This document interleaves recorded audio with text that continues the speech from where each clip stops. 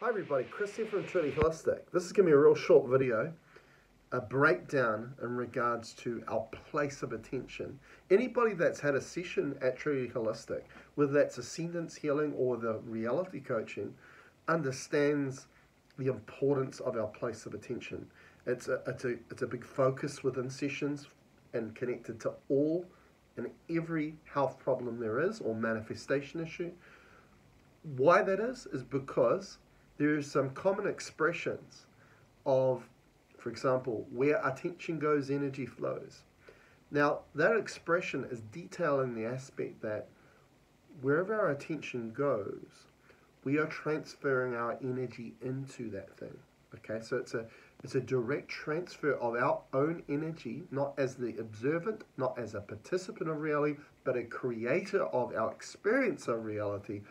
A big part to do with that is where we place our attention. Okay, another expression for attention is whatever holds our attention holds our power. Now that's a that's a very bold statement, right?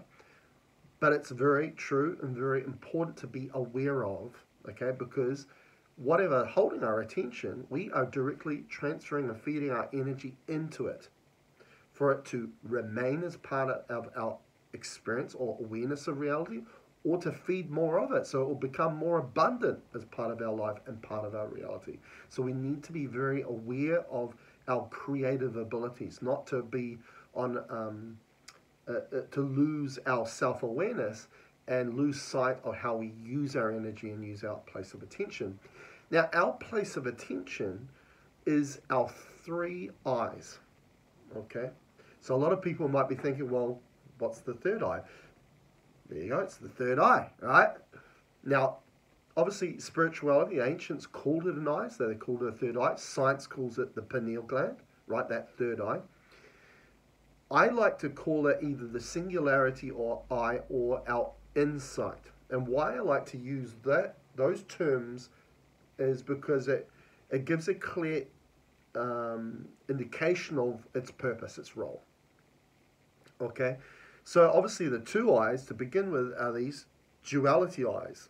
Why do we call them duality? Because they're a duo. There's two of them, right? And really, this existence that we've been locked in, which a majority will say is like a prison world or a matrix world, we call that duality. Okay, and within duality, we are being forced to use a perspective, perception of reality, to use a process, a pathway which we call mind thought pathway, to process realities, which we then um, the byproduct of that process, we create mentalities, which is really the birthplace or the origin of what mental illness is um, through an unbalanced existence, which we call duality. Okay? And why we call these duality eyes is because humans are generally taught to follow what they see and couple it up with a thought process to get a, the head around what they are seeing, right? To, to, to understand what does it represent. Okay, if we don't have that representation, which is the word insight, and we'll get to that in a minute, to what we're observing, well, what's what's the point of that observation? Okay, and then that connects into how we um, respond and react, which again is our power, is how we respond and react to what we're observing, and you know that might be a challenge, something that's happening in our life that's enabling a challenge in our life and we're observing that and our sense of, or our greater sense of understanding and knowing of what that represents that observation or that challenge is heavily going to influence how we react and respond to it, right? Whether we react and respond still holding, upholding our self awareness or losing sight, pun intended, of our awareness of how we're using our energy through our response and reaction. So we've got these duality eyes which see 0.0035% of the electromagnetic spectrum of light. So very little. It's like looking through a keyhole uh, to understand what our reality. It's very little, right? So what we really need is a balance of the three eyes. All right, these two eyes are going to pre present our observation, and this eye is going to present that greater knowing and understanding, aka insight, into what we're observing. So therefore, we can then still hold on to our self awareness when we respond and react, which is essentially when we transfer our energy into creation. Right? We need to have some discernment there. Okay? Now, another thing we can look at is these duality eyes. And what we ideally want, and this is what I teach my clients, is to present a state of neutrality, which is balance instead of duality, unbalance.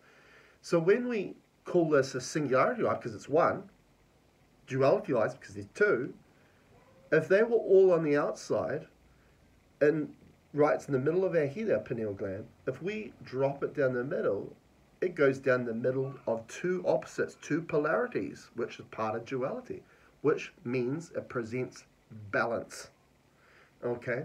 Now another thing that we can look at is we call these our external eyes because they're in an external part of our head, while this eye is our internal eye because it's in the middle of our head, inside our head, which we can shorten to insight, right? External sight, insight, right? So these ones are there to observe. This one here is the definition of insight is to present a greater knowing and understanding of what that thing represents, what we're observing right? So this is how this all ties in with each other. Obviously, this eye is also very important in regards to our sleep and dream state, right? When we look at it scientifically from the pineal gland, it secretes melatonin, which initiates sleep. Melatonin is secreted in an environment void of light. Okay? Now, what happens with this eye? This eye opens up more or becomes more presentable at night time when these eyes shut down, right? They close up. Okay? which we will see from a human perspective that we are resting the human body, the rest in the body. It needs to sleep. But our authenticity as a consciousness, as a soul, is it never rests, right? And when this pineal gland is secreting melatonin, which melatonin is a leakage of light from a multi a multiverse, it's enabling access to these multi-dimensional aspects of you as an infinite consciousness. Okay, which quite often that term travel comes up for people, right? We're going to astral travel, we're going to have quantum travel, and there is a difference between those two. Astral traveling is dictated governed by the mind, intelligence that's not you, while quantum traveling is guided and directed by your soul, which the seat of the soul is the heart. And there's a quantum path that goes within you from the heart. The heart is the surface right? Ascension is all about allowing your multidimensional infinite consciousness aspect of you to be represented here and it levitates up to the surface like an aquifer deep under deep underground in the earth levitating up to the surface now the surface of that consciousness that expansion that exists within you is the heart itself okay so there's a lot going on there now one thing i want to lastly mention in regards to it is we've got a new product which we call the Insight Pendant. Now this is a wonderful product. Now you can obviously put that on that spot there where your pineal gland is or your singularity eye, your third eye, whatever you want to call it. Or you can just wear it as a pendant. And what this does is this provides balance, neutrality in regards to your place of attention. Now this is so important. So this will help improve sleep, uh, for people that have bad dreams or nightmares, this will get rid of them.